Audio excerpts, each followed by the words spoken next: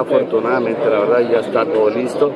Este, faltaron unos pequeños ajustes, ajustes y ayer me informaron que quedó todo bien.